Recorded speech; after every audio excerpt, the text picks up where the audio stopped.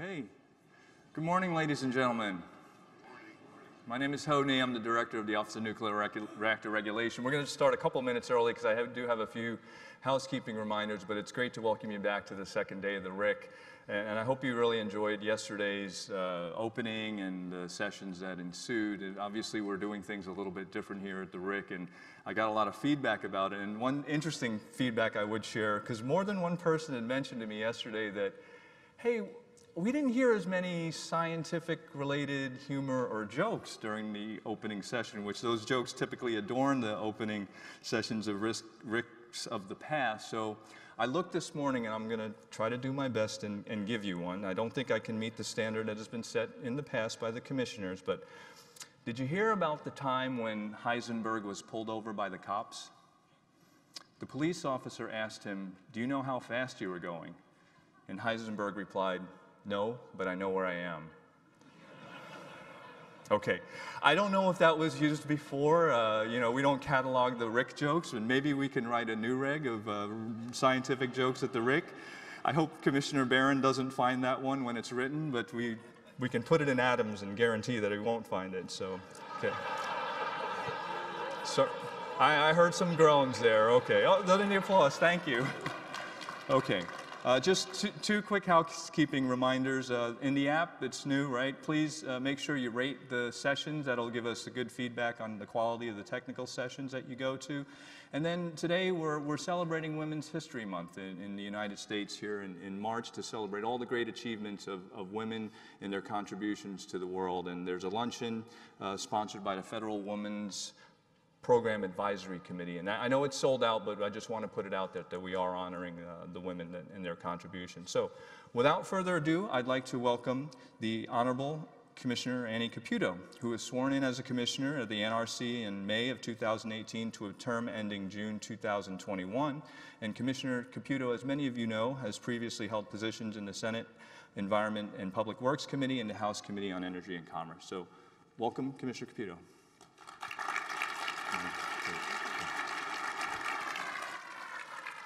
Good morning.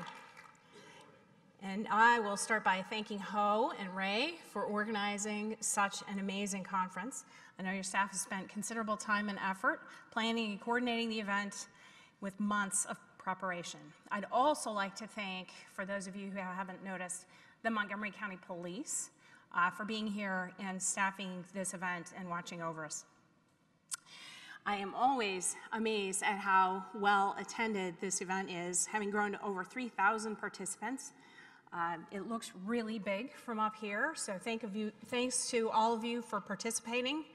NRC staff, international colleagues, academia, federal and local governments, non-governmental organizations, members of the public.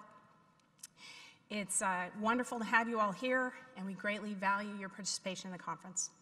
I also want to thank my husband and kids for coming today. Without their love and support, I wouldn't be able to do what I do. While they mostly consider me a geek, their being here today is a chance to show them that nuclear safety is, in fact, cool.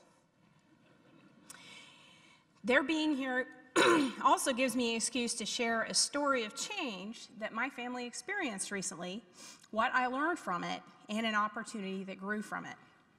So I will start with the opportunity. My mother became a Christian minister when I was a junior in high school. Every Sunday, in every sermon, she used me as an example for a message to her congregation. This was my weekly dose of embarrassment. Every day, every Sunday, until I went off to college for two years. Now, fast forward to the RIC, and I'm presented with an opportunity. I can pay it forward and provide this experience to my kids all in one shot rather than 52 Sundays a year for two years. So, to my kids, you're welcome. now for the family change. My husband and I recently decided to transfer our kids to a different school. When we told them, their reactions were very different. One said, Great, this will be an adventure. I'll make a bunch of new friends. The other one was reluctant. This is the only school I've ever known. I've gone here all my life. I don't want to change. After talking about it more and explaining our reasons, then visiting the new school for a day, the attitude began to shift. Well, most of the teachers seem nice, and the kids are pretty friendly. And then a little while later, you know, this change will be good. And then my favorite wait, why do I have to wait for January? Why can't I just start there tomorrow? So, what this taught me was people respond to change very differently. Some may eagerly embrace it, some may want to discuss it and understand the reason for it, some may need to experience a little to fully embrace it. Some changes are inevitable. Some are changes we choose to make. How well we adapt to the changes we face is a result of the changes we choose to make. How well we adapt reflects who we are as individuals and as a team. When my husband AJ is confronted with change, he boldly announces, I have super AJ genes. I will adapt and overcome. It's pretty comical. We may not have super AJ genes, but who we are as an agency and our character is embodied in the principles of good regulation and in our values.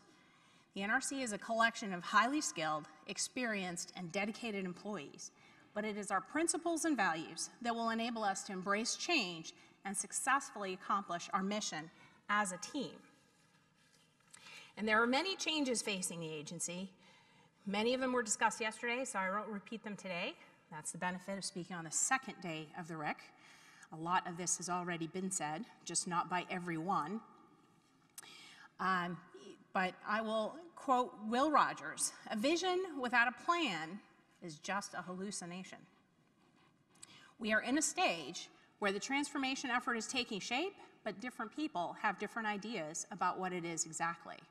I believe the transformation is about becoming a modern regulator that promotes and embraces innovative approaches to achieve our mission. The mission doesn't change, and our principles and values don't change, but our workload and how we manage it will have to be different. Margie Doane referred to innovation as a muscle. Innovation is not a matter of waiting for inspiration and shouting, Eureka! It is something we should all exercise as a part of what we do, in the same way that a questioning attitude is crucial for nuclear safety. We can ask, is there a better way to do this in our daily decision making? In this spirit, I want to applaud the work of the NRC's Innovation Forum and all the employees who have contributed their ideas so far. As our workload changes, there are also opportunities to invest in the leadership and skills of our employees. Training will be key to this effort. As things change, it will be more important than ever that we provide the tools that our staff need to manage the changes that they face and be successful. And as we anticipate the changes in front of us as an agency, one thing is for sure leadership will play a decisive role in shaping the outcomes. With all of these changes, it's incumbent upon all NRC leadership, including my colleagues on the Commission and myself, to communicate clearly, diligently, and thoughtfully. To that end, I think Margie Doane's Strategies on a Page, or SOAPs, and the new transformation webpage are a good start, and I hope that staff finds them useful. One of the dominant aspects of transformation is expanding our use of risk informed decision making. I often hear it discussed at a high level, but I'm working to understand how we use it on a daily basis. Our principle of efficiency states regulatory activities should be consistent with the degree of risk reduction they achieve. This is the foundation for our ongoing endeavor to better utilize risk information. Better utilizing these tools will enable us to modernize our decision making and focus our time and resources on achieving the greatest safety benefits. To this end, EPRI's 2018 paper on insights into risk margins and NEI's paper on understanding current levels of safety are useful to consider as we incorporate risk-informed decision making, provided, of course, that the industry maintains its high levels of safety. And with that said, the roots of our regulatory framework originated with the Atomic Energy Act in 1954, and our industry has over 4,500 years of operational experience in nuclear power. Where we stand today is the result of many lessons learned along the way, but our experience also contains a wealth of data that provides risk insights. As the Commission considers expanding the use of risk-informed decision-making, either in licensing or oversight, such, such proposals should have a sound foundation in transparent, objective, high quality, and data driven analysis. In fact, this topic is of such great interest to me that on Thursday, I am moderating a panel discussion on risk informed decision making that I hope will provide a great conversation and diverse perspectives on how to best leverage risk insights. So, yes, that's once more a shameless plug for the Thursday morning session on risk. Similarly, our backfit rule serves a valuable purpose by refining our focus on safety significance in licensing decisions. The backfit rule provides a disciplined process for determining whether regulatory changes are necessary for adequate protection or provide a substantial cost justified safety increase. In this way, the backfit rule is an essential tool for achieving more risk informed decisions that are transparent, objective, and high quality. For this reason, I'd like to see us improve our adherence to the backfit rule. The result will be higher quality actions focused on areas that, that yield significant safety benefits. Now I'd like to turn my attention to the Nuclear Energy Innovation and Modernization Act, which was passed earlier, which was signed into law earlier this year with overwhelming bipartisan support. I consider this to be Congress and the President's statement of their expectations for transformation at the NRC, particularly with respect to budgeting and fee recovery, advanced reactor licensing, and accident tolerant fuel. With regard to the last two issues, our ability as an agency to reach prudent decisions in a timely manner will directly impact whether those efforts are successful. Prompt action, delayed action, and inaction are all outcomes that, directly, that are directly determined by our choices. External stakeholders, including Congress, are watching closely to see how well we execute our responsibilities. This will require us to be responsive, accountable, and proactive to efficiently reach sound decisions in keeping with our principles and values. Congress was also clear about the need to reform our budgeting and fee recovery process. As reactors close and new reactor licensing work declines, the fees from those licensees and applicants decrease. Unless there's a corresponding decrease in the budget, this dynamic results in fee increases for operating plants under the existing law. For example, under our proposed fee recovery for 2019, operating reactor fees increased 8.4% as a result of the closure of one plant, the planned closures of two more, and the completion of a design certification. Congress recognized that this structure was not sustainable, particularly given the trend in premature plant closures. But currently, we use a, develop, a budget developed two years ago to formulate a budget for two years from now without much calibration of comparing to actual expenditures. This results in a budget that is slow to reflect our changing environment. The new budget and fee, fee recovery structure in the new law provides an opportunity for us to harness analysis of actual expenditures to better inform our budget decisions and rethink how we allocate our resources. Allocation of resources is a major instrument of policy for any agency. It's a statement of our priorities and the means to achieve objectives. For this reason, I dedicate a significant amount of my time to our budget formulation and fee recovery process, a fact that is well known to the staff that are tasked with answering my many questions. But I firmly believe our financial management should not be exempt from the benefits of data analytics and transformational thinking. For these issues and many others, I would like to see the agency use more results driven approaches and better utilize data to measure performance and decision making. As a great artist Michelangelo once said, the danger for most of us is not that our aim is too high and we miss it, but that it is too low and we reach it. Our existing metrics have given us our existing performance. If we want to improve our performance, then we must begin by improving our metrics. In the future, I'd like to see the NRC able to objectively and candidly assess our results and share those results publicly. Absent this, our transformation efforts will fall short. In conclusion, while the NRC is facing many challenges, our principles and values don't change. They are the roadmap to embrace change and be successful. In the words of Mark Twain, success is a journey, not a destination. It requires constant effort, vigilance, and reevaluation. Our journey as a regulator began in 1954 with a determination that nuclear could be used for peaceful purposes. Since then, the industry and this agency have gone through several periods of change, but our most basic charge has remained the same to provide reasonable assurance of adequate protection of the public health and safety. That safety mission must remain the sound foundation on which all of our transformational efforts are built. Thinking beyond that, we need to find ways to improve how we do our work. We should use our own expertise to rethink how we do things, but this is also where innovation can be a huge help. Companies and other agencies are innovating all the time. We need to examine how we can take their ideas and put them to work for us.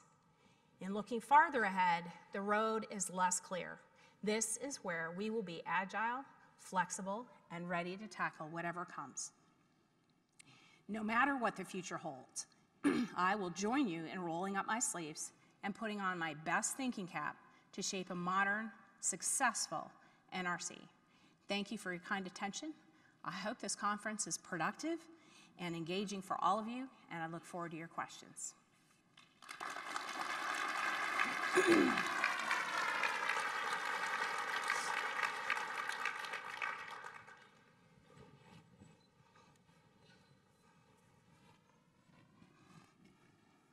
Okay, thank you very much for those remarks, Commissioner Caputo.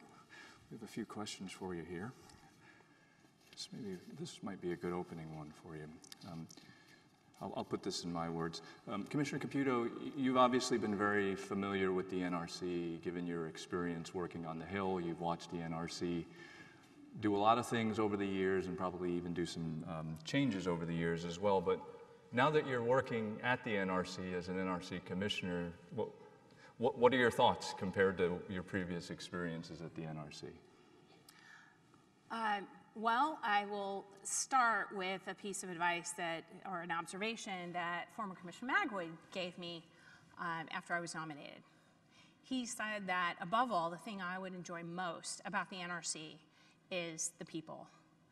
Um, it's a fabulous, dedicated staff, very, very knowledgeable. I learn a lot from them every day.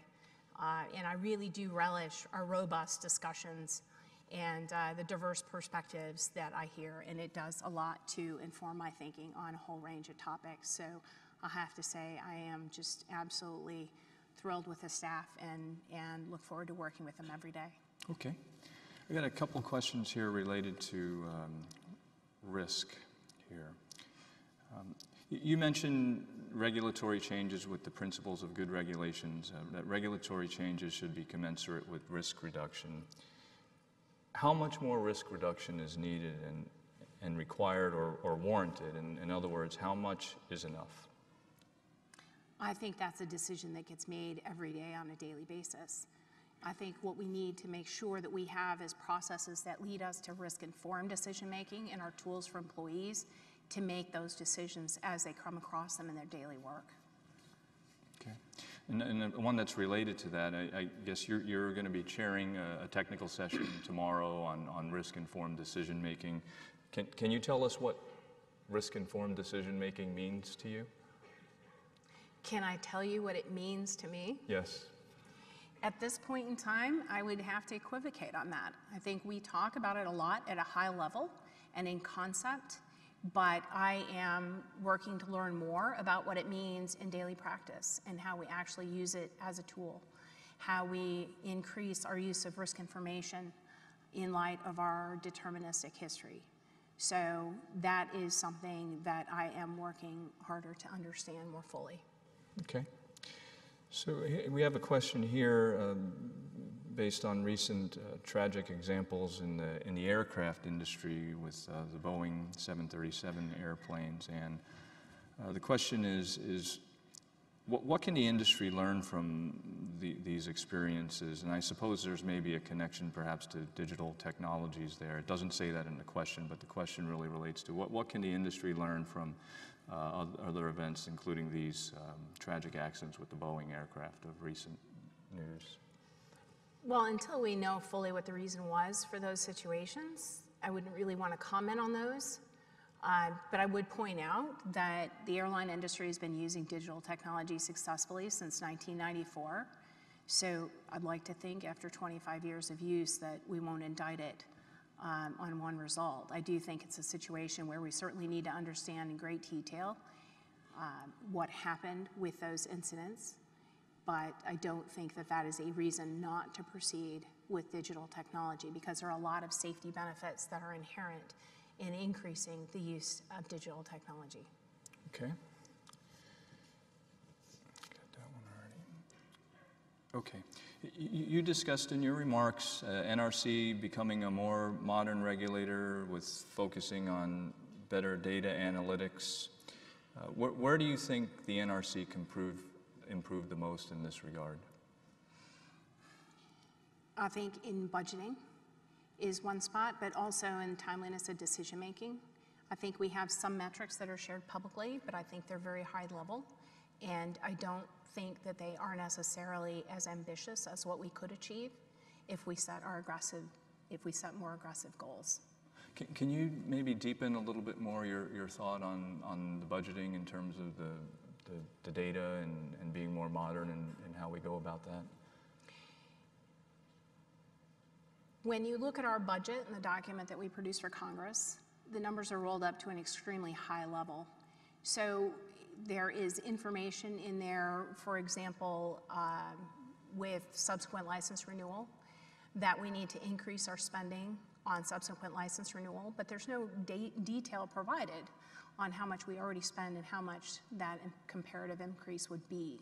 So I think we need to understand a lot more historically what we have spent, how we've spent it, in order to educate ourselves on whether or not such an increase is warranted or too lean or too much. And without the detail on actual expenditures, I think it becomes very difficult to know whether we're actually placing our resources where they do the most benefit. Okay, thank you. The, the commission has before it a paper, uh, COMSECY, or I'm sorry, SECY 180060 entitled um, uh, Modernizing uh, NRC's Risk-Informed Decision-Making. I think this is what we so-called called the transformation paper. Uh, Can you tell us, please, what the status of that paper is with the commission and what your views are of what was presented? Well, I can't speak for my colleagues. It's something that I have looked at and reviewed, but there are also a lot of papers pending before the commission. And so I think this is one that um, you heard the chairman and Margie Doane mention yesterday that transformation, you know, will in many ways be made one decision at a time and one step at a time. And I think that's perhaps where we are. My own views are that transformation really extends beyond the paper, not just the items that are covered in the paper. Uh, so I think, you know, I think as a commission, we're working to assess really, you know, what our next steps will be in that regard. Okay, I'm, so I'm going to embellish that on, for, for me a, a little bit here. I, I heard in some of the hallway conversations yesterday uh, some comments about the one decision at a time, and I think that may mean different things to different people. Uh, I think the person that was speaking to me presented in the context of that sounds like an incremental change. Is, is that, and, and was asking, you know, does that, is that where NRC is really going? So do you, do you have a, a perception uh, or, or a view on what one decision at a time really means? And does, is NRC just making incremental changes, or do you think you see the NRC needing to make more, more making bigger, do you see the NRC needing to make bigger changes? Every journey begins with a step. So to this, to the, you know, if we're going to talk about increments of change, there's still increments of change, and it's still important to begin that journey with a step. Some changes will be larger than others. Some will be incremental. I think it's, uh, you know, remains for the commission to decide where we feel comfortable making larger strides and where there are smaller increments. Because I think no matter what, we are changing a very established regulatory framework, and that needs to be done very carefully and deliberately, and a fair amount of analysis. And so, to a certain extent, um, some changes will not happen overnight. Okay, thank you. I have a question here related to reactor oversight process. The commission has a paper related to engineering inspections. So question is, where is the commission at on this paper?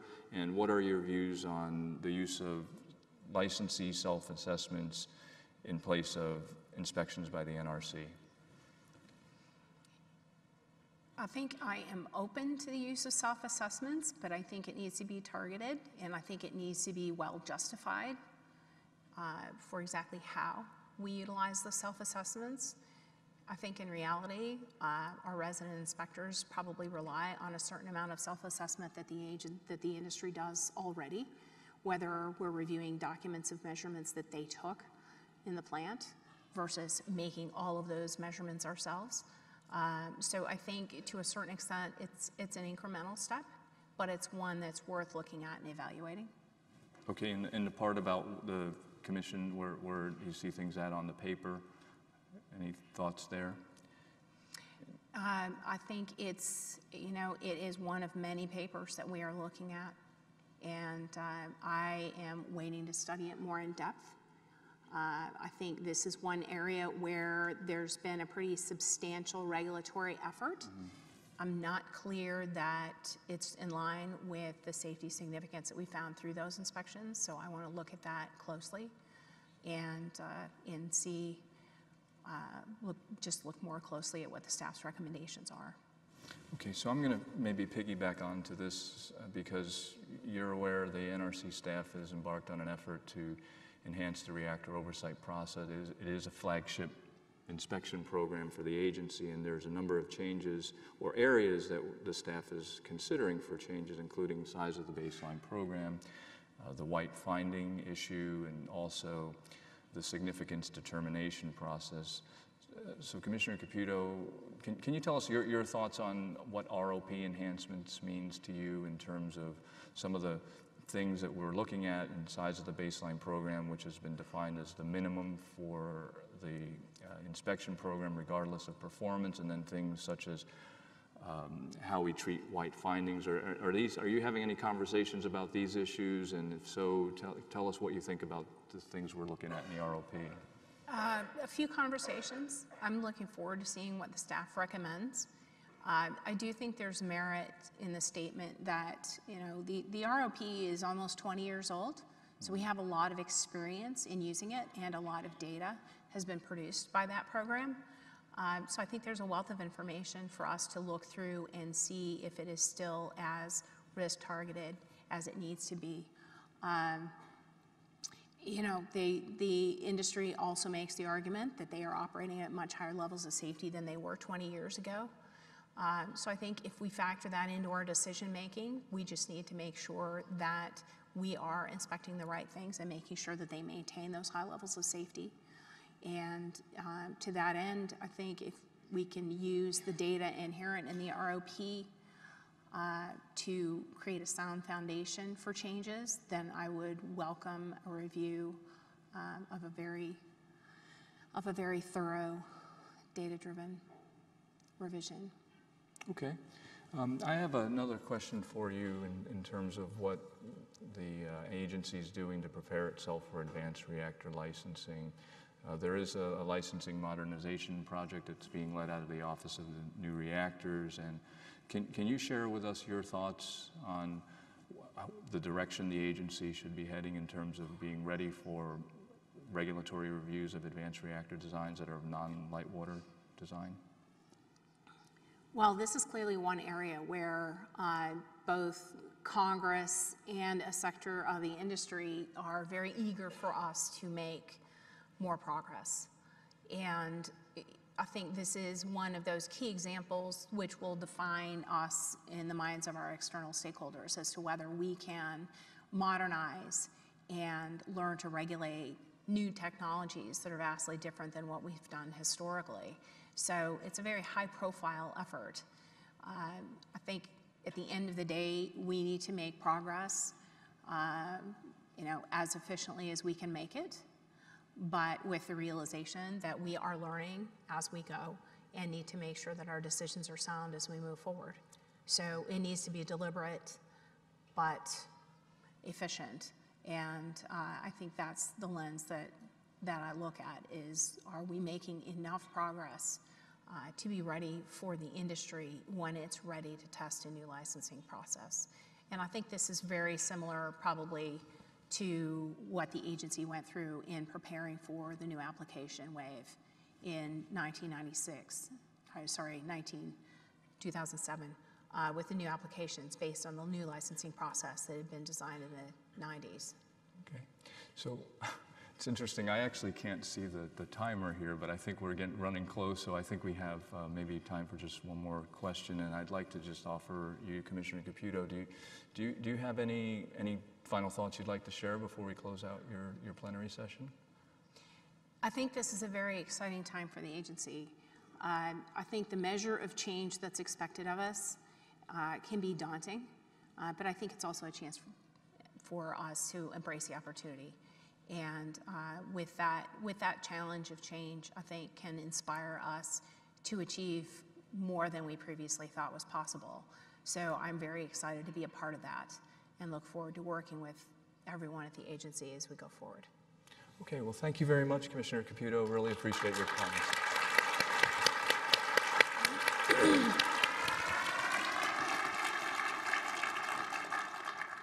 Thank you.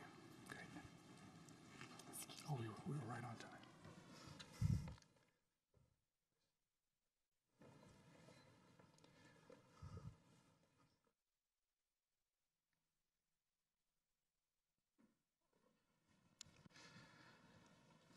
I have the pleasure to introduce our next speaker. Uh, he's our newest commissioner. Uh, the Honorable David Wright was sworn in as commissioner on May 30th, 2018. And before joining the NRC, he, he served as an energy and water consultant and policy advisor on nuclear waste issues. He is a former president of the National Association of Regulatory Utility Commissioners and served as vice chairman and chairman of the South Carolina Public Service Commission. He was also elected councilman and mayor in Irmo, South Carolina, and to the South Carolina House of Representatives. A colon cancer survivor, Commissioner Wright is an advocate for cancer awareness and education.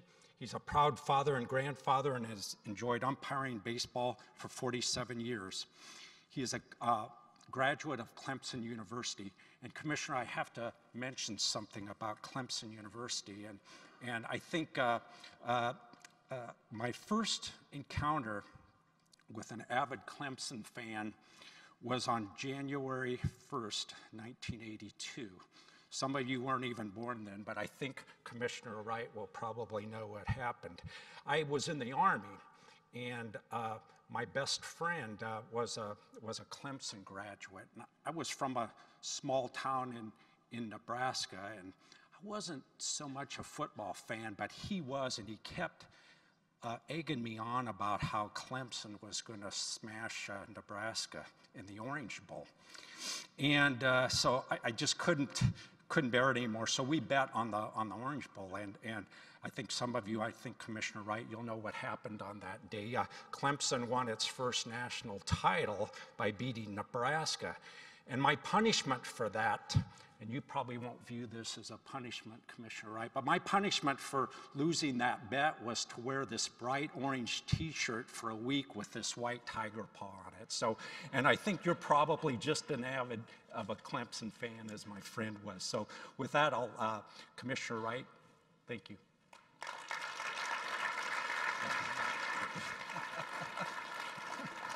Oh, I'm vertically challenged, so I need to adjust this. Very good. So, good morning, everyone. Number, number five here. Last but not least, um, before I begin uh, everything, I want to say congratulations to my fellow commissioners for their presentations and their speeches here uh, yesterday and this morning. It was really good stuff. and I hope that I can live up uh, to the same standard that you, you have set yesterday and today. I'm really proud of you. Um, it's a pleasure to be here at my first uh, RIC. Um, what you saw and heard yesterday and what you're going to experience today and tomorrow, uh, it's the final product of much hard work, uh, many dedicated people, a significant show of flexibility, creativity, and problem solving skills, uh, a shared vision, and just a hint of a long tradition. Um, thank you to everyone who has helped prepare for this event and for all of you for attending. Um, in order to fully understand the purpose of the RIC, its history, and its traditions, I had to go back and read. I read a lot of uh, previous speeches of the past, and I've noticed that they often begin with thanks, and I like that tradition. Um, we don't thank people frequently enough in our lives, both personally and professionally, so I'm going to uphold that tradition this morning. So I'd like to thank the wonderful te- uh, makeup of my, my group, Team Wright, um, who've become like family to me as well. The, I've got uh, Kathy Kanatas, who's here. She's my chief of staff. Uh, Kim Laura, who's my administrative assistant and my very first employee. Uh, Carol Lazar, my legal counsel. Samantha Crane, my materials technical assistant. Mo Shams, who is my reactor technical assistant, and Carmel Savoy, my uh, other uh, AA and uh, they make up the best office anywhere, and they do a great job for me and for the agency too. And I thank each of them for their advice and their help and their guidance. I'd also like to thank Chris Cook and CJ Fong, who have filled in as my reactor TA as needed. Um, CJ is going to be coming back here soon. And uh, to a former office, office administrative assistant, uh, Zarva Taru, as well. Um, I'd like to express my gratitude to the other commissioners uh, and their staffs who share the 17th floor or the 18th floor with me, uh, and to the chairman and her staff on the 17th floor. Uh, you're excellent colleagues. You're welcoming, informative, educational, and challenging uh, and encouraging in a very good way. Um, I see the wisdom of a five member commission every day, the diversity of experience, the uh, difference of opinions, the perspectives we bring to the table uh, that just makes our decisions all the, all the better. Um, and I'm appreciative for it. And finally, a big thank you to each and every person that has briefed me since I was sworn in. Um, I can't list you all because I only have 30 minutes. Uh, but I want you to know that I do appreciate you taking time to prepare the briefing materials, uh, answer my questions, and get me up to speed on, on the issues. Your help has been invaluable, not just to me, but to our team as well. So thank you. One of the things uh, I noticed from reading past commissioner speeches is apparently I'm supposed to tell a joke. Seems to be tradition, right? Um, I do know a little bit about telling a joke. Um, you see, I'm the oldest of four kids, three boys and a girl, uh, who grew up with a father who made part of his living as a stand up comic. Um, Dad was a comic of the Don Rickles variety, though. Uh, if that name doesn't ring a bell, um, suffice it to say that he's considered an insult comic. So let that sink in for just a second. Um, anyway, my father played Caesar's Palace in Las Vegas, Fairmont Hotel in uh, San Francisco, the Hershey Hotel, Hotel Hershey up in PA, uh, among some other well known places. Uh, Dad emceed many beauty pageants and even more sports banquets and roasts and he hosted several local television and uh, shows and radio programs over his 60 years in radio and television. Um, Dad appeared in hundreds and hundreds of television commercials, uh, and he was a radio golf reporter uh, for many PGA Tour events, including the Masters Golf Tournament for 50 consecutive years, uh, where he received the Masters Golf Tournament Lifetime Achievement Award. Um, can you tell I'm proud of my dad? When we were growing up, which was a lot of fun in my house, um, Dad often referred to us kids in his routines, usually teasing us. He once said my sister Amy was so lazy that when she wanted to run away from home, she asked him to call a cab. Or about my brother Ricky, he would say, My son Ricky, he watches so much television. When he woke up the other morning, the radio was on. He thought he'd gone blind. With us being so young, those jokes went over pretty big too. Um, I told my first joke on stage with Dad when I was maybe five or six years old. Uh, my father called me up on stage and told the audiences I, I was very smart, a real math whiz. Then he would ask me, he'd say, David, if you have $2 in your right pants pocket and you have $2 in your left pants pocket, what do you have? I'd say, That's an easy one, Dad. I'd have somebody else's pants. So there's my joke.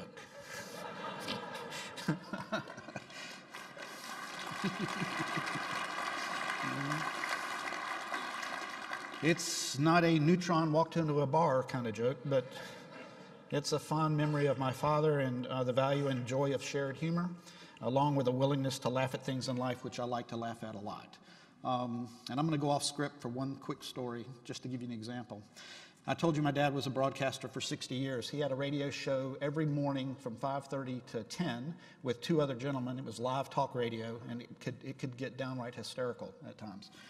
They were practical jokesters as well. And my dad, uh, on his uh, the day of his 60th birthday, uh, he would, was driving into town, uh, and the other uh, partners had asked the local police department to stop my dad and they gave him a warning ticket for turning 60 in a 35.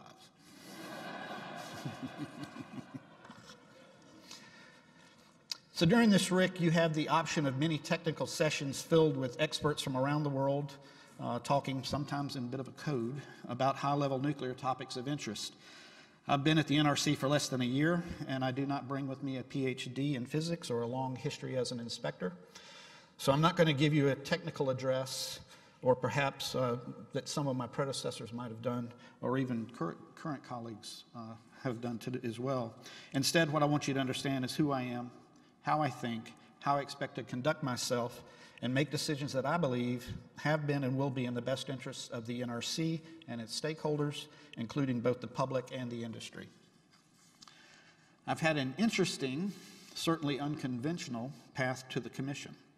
I'm a proud alum of Clemson University, that would be the college football champion Tigers, by the way, to all my Alabama friends.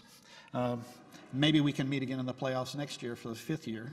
Um, until then, go Tigers. That's what I'm going to say. I graduated with a degree in political science with a minor in communications and some wonderful memories as a long distance runner on the uh, Clemson cross country team. Since then, I've worked at an advertising agency, owned and operated a public relations and consulting business, been a press secretary, a radio salesman, run a local newspaper, uh, owned and operated a Hickory Farms franchise, and was a national advance man for a presidential campaign. I've, I have my real estate license, and I'm a licensed auctioneer in South Carolina. I've also, as you heard, umpired baseball for 47 years. Uh, more about baseball in a bit. Despite all those various and diverse jobs, and they were a lot of fun, the most important one in terms of my road to the NRC, where things really started for me, was as mayor of a small town. Um, the NRC's historian, Tom Wellock, did a bit of uh, researching on my behalf, and he's fairly certain that I'm the only elected official to sit on the commission. We've had an astronaut, lawyers, academics, military commanders, uh, but I'm apparently the first mayor uh, I'm pretty sure I'm the first former state utility commissioner as well to serve on the commission. And I can tell you this I've relied on what I learned leading a small town every day that I've been at the NRC as a commissioner. See, you have to learn the process, how things operate first, and you have to get to know the people that you're leading. Only then can you really figure out how to get things done, what's important to people, and what may need to change you get wisdom through experiences. That's exactly how I've approached being a commissioner, too. Let me tell you a little bit about my small town, Irmo, South Carolina. It's a neat little town, about 10, 15,000 people now, straddling both the Lexington and Richland County line. It's near the shores of Lake Murray, about 10 miles north of Columbia.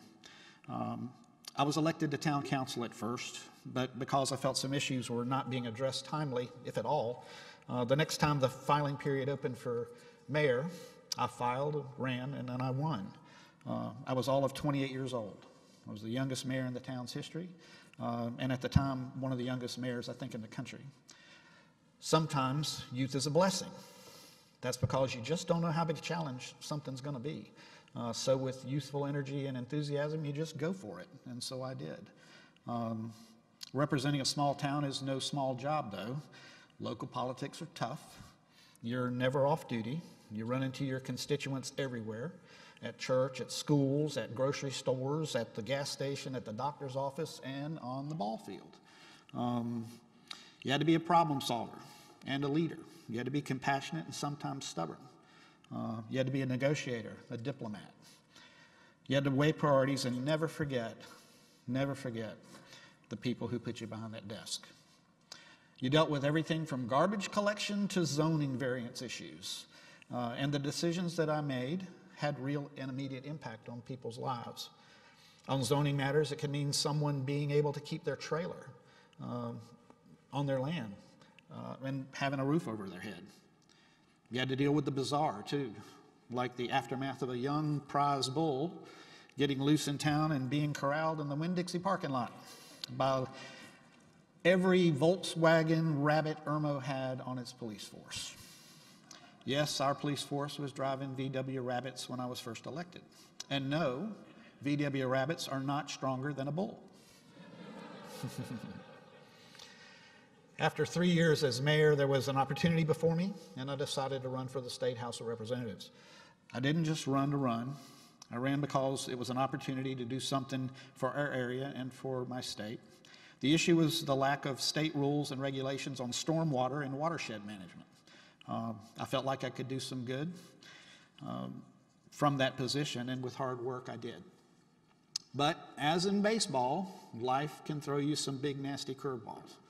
Um, you think everything is on track in your life, you're running on all cylinders, you feel good, you play basketball, you run, you, you play softball and golf, and your work is, is satisfying, your family is happy, and then you go to a routine doctor's visit only to be told something that will forever change your life. It was 8:15 in the morning on Friday, January 11th, 2008.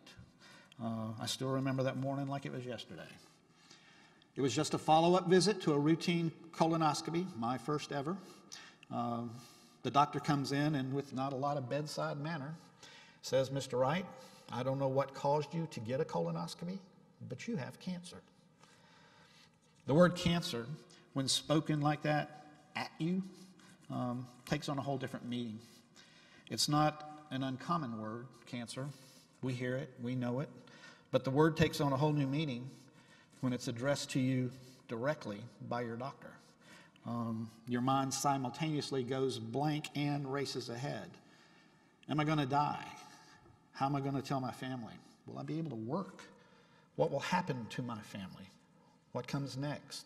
How am I going to pay for this? The doctor left me alone with my thoughts for a few minutes, and in those few minutes, I, you know, first thing I did is prayed. Then I got myself together, and I made the decision to do whatever I could to beat it.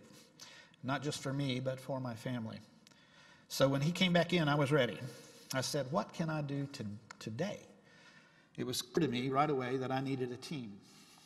Fighting and beating cancer is not fun or easy, and it's even harder as a solitary sport. Um, I needed a, my general practitioner, I needed a surgeon, an oncologist, nurses, caregivers, friends, prayer. I needed to tell my family so they could help me too. Um, since I had not eaten that morning, which was a good thing for a number of reasons, one, I had no food in my stomach to worry about keeping down after getting the news. Um, and two, I was able to have a CAT scan that day. Um, I had two surgeries and ended up having IV chemotherapy for, 50, uh, for six months for 54 hours straight every two weeks. On chemo days, I'd stop by the Burger King on the way in. Uh, then I'd sit in the chemo chair for seven hours with the chemo right there, uh, nausea medicines and steroids and fluids dripping into my veins. Then I'd go home with a bag of the chemo solution on my shoulder, and I'd sleep with it all night attached. I'd wake up, I'd go back the next day and do the same thing all over again. When I left each day, I went to work. I won't lie, I didn't feel great. But I had work to do as a commissioner at the South Carolina Public Service Commission. Plus, I had to be a dad. I was facing a trial, certainly, but I had my faith and I had my family, so I pushed ahead. 14 hours sitting in a chemo chair every two weeks gives you plenty of time to think. Um, I used to tell people I had to learn how to do 14 days of work in nine days when you count the sick time that you're down after the chemo sets in. I pondered what interests me, what's my passion, uh, what's going to be my purpose if I make it through this battle. I knew I would advocate for early cancer screening for sure, and I've done so, but what would I do for work? Um, at the time, I was a South Carolina Public Service Commissioner, a, a position I had been elected to four years earlier.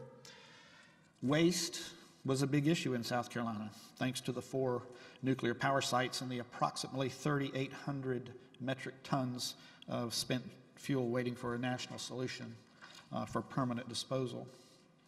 And I decided, sitting in that chair, uh, the chemo chair, that I wanted to become an expert on nuclear waste and nuclear policy. Uh, so that's what I did.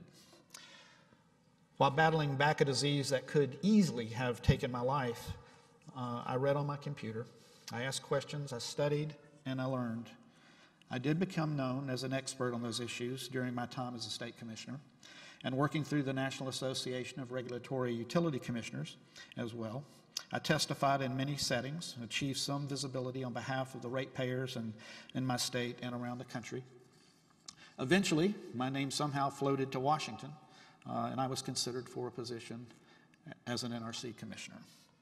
At my NRC confirmation hearing, I highlighted my local and state perspective on national nuclear issues.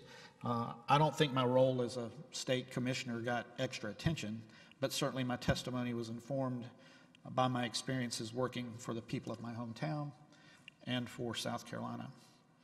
I was pleased to be confirmed as a commissioner on May 24th, 2018, which is my late father's birthday, by the way. Um, and soon after, on May 30th of 2018, I put my hand on the Bible held by my mother and swore to do this job in good faith and to the best of my ability. So let me talk a, a little bit about what has happened since then. I figured out the computer system. I hired an excellent staff. Uh, I've made headway through the nine linear feet of backlog paperwork, and I've been walking the halls. Um, as I said at my confirmation hearing, I'm not a guy who stays in his office. Uh, so I walk around. I've been to all three buildings and headquarters, some of the floors more than once already. I plan to get to the regions soon, too. Uh, I don't say commissioner in front of my name when I walk the floors to say hello. Um, that's because it's not about me. Uh, it's about the meeting the great people that make up this agency, uh, seeing and meeting them in their work environment. I find it impactful uh, to see when you walk into their cubicle or their office just what's important to them, to that person. Family, pets, sports, travel. You know, what are they working on? What else do they love? Um, usually, once the initial shock wears off, they relax and share ideas or stories with me, uh, but not necessarily at first. Uh, some are very surprised and taken aback and aren't sure what to make of a commissioner roaming around. Um, and I get it. Uh, I get that I have a different leadership style and that people want to know that it's not a gimmick, um, that I am listening and paying attention, that I'm approachable, and that I care. It doesn't always happen the first time I meet them, but they loosen up the second or third time. Um, I'm happy to make that uh, additional visit too. It helps me know and trust the people of the NRC and for them to know and trust me. I've gained so much from my walkarounds and met some incredibly bright dedicated and talented people. Um, plus, I'm having fun with it. Uh, I've also seen some things that I think can change. One of the things is I, uh, the number of silos that I've seen. I see people working on similar uh, items across the hall or building from each other. They don't necessarily know their colleagues doing the same thing um, or something similar. I've seen people who are right next to each other but who don't necessarily talk face to face at all. Um, I think it's important that people get up and talk to each other. There's no need to recreate the wheel, and there's no need to send an email if you can pop right next door and talk to them face to face. Um, we all know that email can be misinterpreted. Face to face, there's fewer misunderstandings. You get the tone, the texture, and have the ability to ask questions right then and there, too. On top of that, when people talk, relationships form. People feel heard and can share their ideas and solutions with others. People being seen and heard. That's important um, because people matter. And when I see people in the hallways, I want them to know they matter. Uh, they matter to me and they matter to this agency. I feel that the people of the NRC are extraordinary in their dedication, their talent, and their drive. And I'm telling you what, they're smart. Oh my gosh, they got degrees. I can't even think about what they're about. That's not to say I won't differ with staff at times uh, or question the way something's being done. Because I'm trying to understand and learn, uh, I can and I will ask pointed questions. Uh, but I'll be respectful in doing so because people matter and the work they do matters. I empower my staff, and I want the staff of the NRC empowered to do their jobs to the best of their ability for the NRC and all its stakeholders. It's the same standard I hold myself to. I'm a big believer in teams. Together, people can do remarkable things. My cancer team got me to remission. Uh, not a day goes by that I don't think of them, and I'm grateful. At the NRC, we're a team too. Uh, those at the top must model teamwork for that concept to permeate the layers, the floors, and the buildings of the NRC. Teams, not silos, achieve great things. There's no limit to what you can achieve when you work together and you don't mind who gets the credit. I have a plaque at my desk that references that, and I look at it and try to live by that motto every day.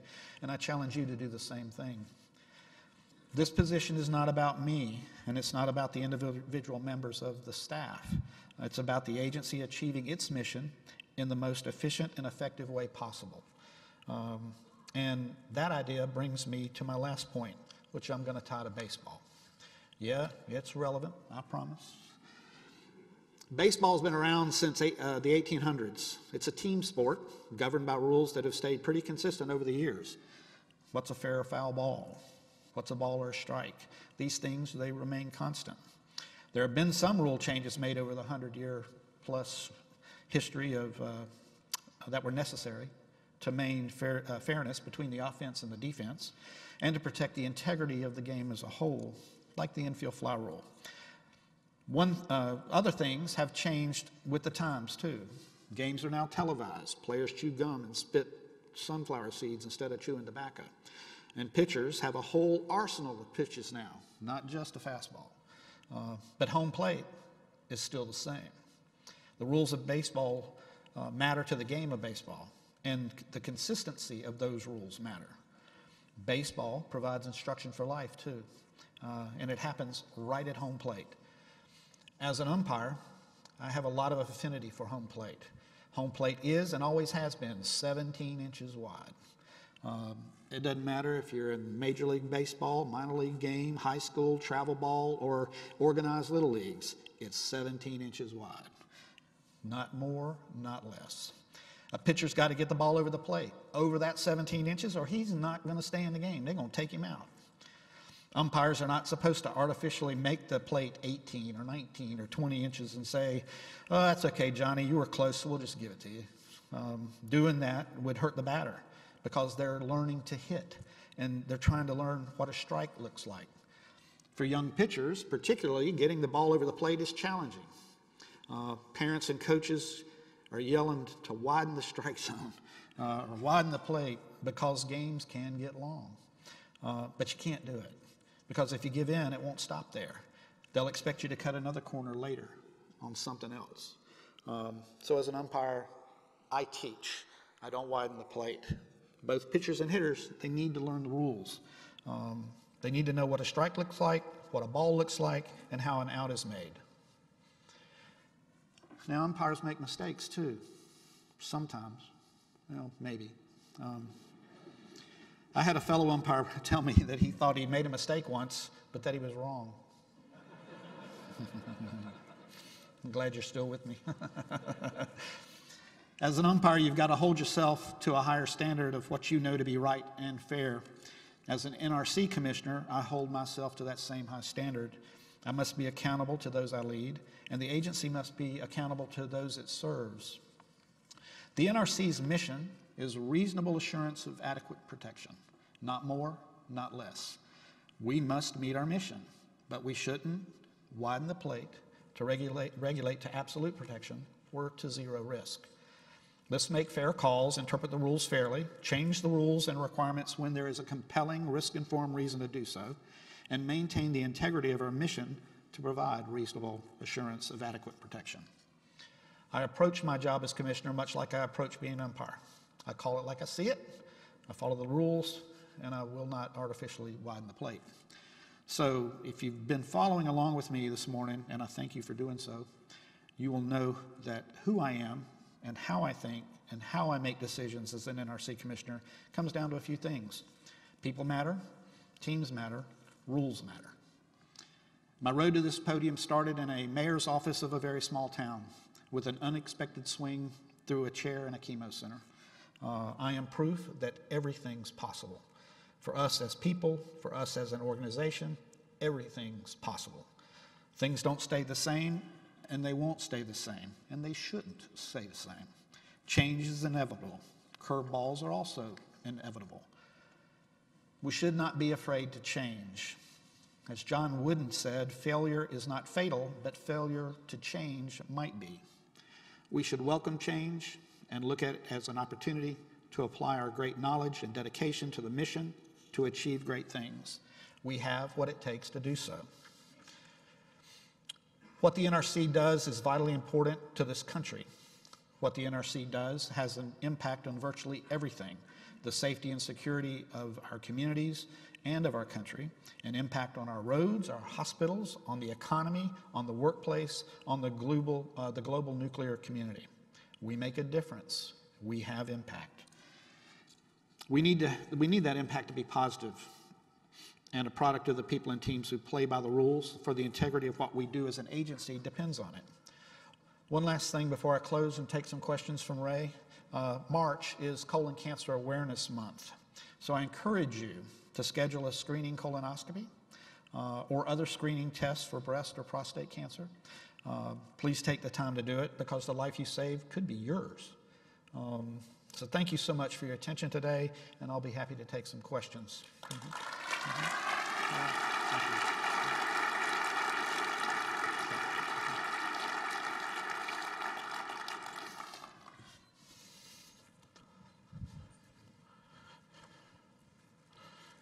Thank you for your remarks, uh, Commissioner Wright. We have time for a couple questions, and we're getting questions as, as you were speaking, so I'm going to try to combine some things since we're running a little short on time. Yeah. Uh, towards the end of, uh, of your remarks, you, you mentioned about reasonable assurance of adequate protection, and we shouldn't regulate to zero risk. How, how will you apply your, your approach to reasonable assurance of adequate protection to, to help enable the use of, of new technologies in the nuclear industry? Well, so I was, for, uh, in a way, I mean, you count it fortunate in some ways and, and disappointing in others, but I was not, I did not have the opportunity to serve in the military but I've had the opportunity to work with a bunch of the Navy people, and I've toured a lot of places, and I've learned about some of the culture um, that they live by. And one of those things that, that I've learned is their 80-20 thing. You know, um, you know, it's and, and I'll kind of say this too. If you if you if we all waited until we knew everything about raising a child, you know, we'd never had them. Okay. Um, so we, if we waited till we got to that zero risk, you know, it wouldn't have happened. So the, the, Navy has that thing about, you know, if, if they're 80% sure we can go on it, let's go, and then we can adjust some things if we need to. Um, I mean, that's a principle that I think is very important, and it's, I think we need to be open to that, but put it in the context of what we do and what we're supposed to do in our mission. Um, if we, uh, we need to be open to those, those change and to, and to making sure that, one, we're not compromising ourselves, um, but identifying that point where we can go forward. Digital I&C is one of those things that we've been doing for years and years and years and years and years. That's like having that baby. yeah, and not getting there. okay, uh, one last question. Um, what's, what's your greatest concern for the nuclear industry today? Uh, if they don't, so I, I, I, come from an economic regulator side too. You know, I have that background, um, and I understand business, the business dynamics too. Um, one, if, if as an agency, if we do not do what we need to do to streamline things, to make things more efficient, more effective, uh, while maintaining the integrity of what we do and what our mission is, um, we could cost opportunities out there um, and cause things to happen that may one day end up we don't have anything to regulate. Um, so I think they've got to look at change and embrace the new technologies and opportunities that are out there. The industry does, and we need to be at, in partnership with them in making sure that we have the the, the processes in place for um, licensing and whatever needs to happen, uh, so that they can get those things done on a, in a timely manner. Um, you know, uh, we, I, I- understand and I know that the taxpayer is our, is our customer, our client, but anybody who's actually paying us fee for service to, for review or whatever, we owe them that same due diligence, I believe, and getting things done for them in, in a timely manner. All right. Thank you, Commissioner Wright. Any closing remarks for the session? No, so it's my first RIC, and um, I had no idea what to expect, but uh, and, and but it's it's a great bunch of people attending this conference. I want. The staff's done an amazing job uh, putting it together. The people who are here are very um, they're, they're very accommodating, and they want to they want to uh, learn as much as they can, and they're you know they've got a crowd. Uh, and I really I'm thankful for the opportunity to meet so many new people, and I look forward to developing relationships with you. So thank you so much. Great. I'll make a pitch for Commissioner Wright. He's going to be uh, chairing a technical session this afternoon, W20, on independence without isolation, international perspectives. That's in, uh, in the ballroom E from 1.30 to 3. So with that, we'll end the session. Uh, breaks until 10.30, and hope all of you can join us for the technical sessions that follow. Thank you. Thank you. Thanks so much.